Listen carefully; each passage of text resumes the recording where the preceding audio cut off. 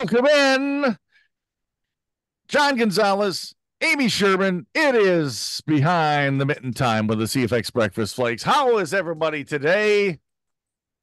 Good morning. Yeah, great, thank you. So and and I've I've driven through the UP a lot. Kent's driven through the UP a lot. I've seen the signs. I've driven past Germfask, but I have never stopped. But you guys are spending a whole weekend in Germfask this Sunday on Behind the Mitten. I know you guys, you're in disbelief. You can't believe we have an entire show coming at you from Germfask, but it's true. Population 460. We're going to spend the whole weekend there, right, Gons? we are, and we typically, like you, Rob, just drive through. We haven't made a stop to grab a beverage and a burger. And uh, other than that, we're like, there's nothing else in this town. And we've done that for years. But this weekend, we said, you know what? There's got to be something more. And we find it for sure. it's, I it's like ac- it.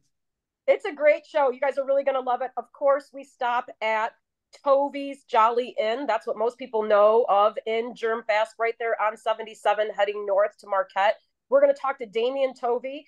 He owns the bar. Uh, it might be haunted. We may share some stories about that. Uh, but then we had we also head up the road to an incredible spot. It's a canoe livery, but it's also the home to an awesome art installation. Gonzo, tell them all about it.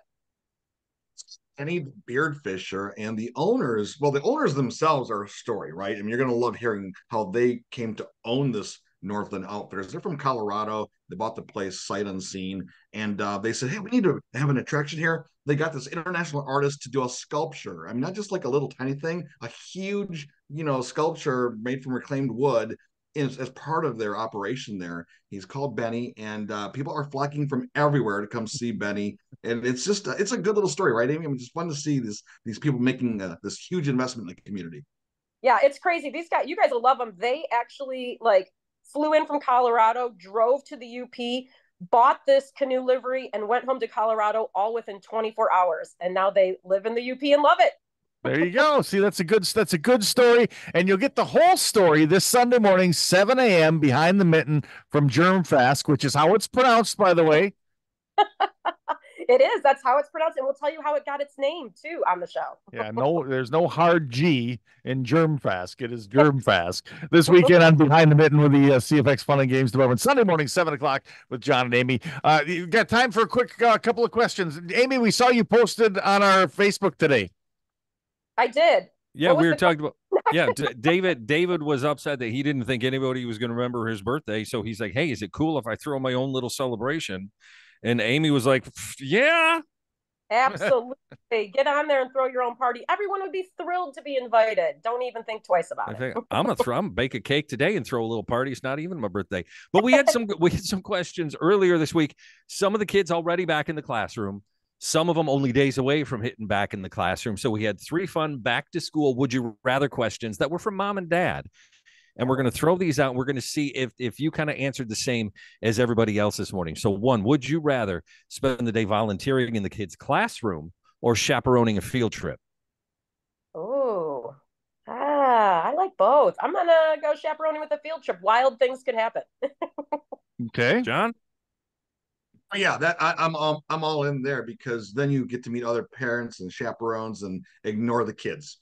Exactly. See, I said a field trip too because you get out, you get to do some fun stuff, and and the one that has never spent any time in a classroom disagrees with us. I did. I said classroom, but uh, but uh, all of our answers, seventy five percent said field trip on that one. By the way, so you're you're both normal. You're both normal. Yeah. So so number two, would you rather help them with their homework every single night or a weekly school project?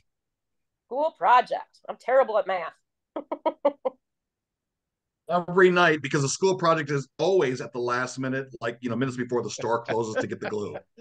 See, I, You're I did a school right. project. Who doesn't love the baking soda volcano and all those other things that you build? You're building something rather than sitting down every night having to argue with them over the homework. I I pick school project every time. It is Hey. seventy five. It is seventy five percent school project. The answers. So Amy normal, John not so much.